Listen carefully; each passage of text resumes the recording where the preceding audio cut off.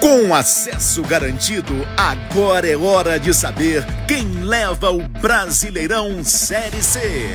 Vale título inédito para Volta Redonda ou Atletique. O primeiro duelo é na Cidade do Aço, nos domínios do Voltaço.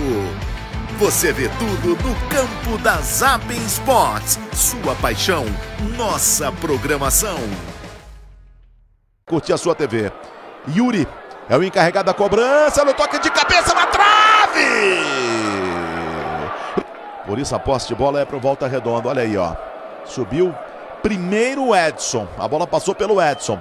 Depois o Sidmar atrás, ó. Observe. Ó, o Edson subindo, ó. Sozinho, hein? Errado o Inayan. A tentativa do passe, bem agora para fazer o giro de Jalma. Acabou perdendo essa bola. Vai pintar o chute, a batida de fora. Na trave, olha a sobra, Eliador! Gol!